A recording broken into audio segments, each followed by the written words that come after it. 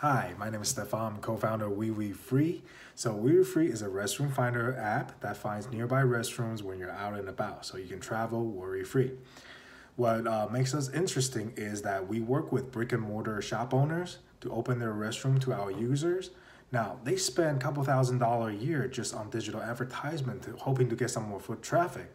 But with us is we have users right around the corner and if you open your restroom in your establishment, you can welcome them in. You can make an impression and turn our users into your potential customers. That's the whole idea.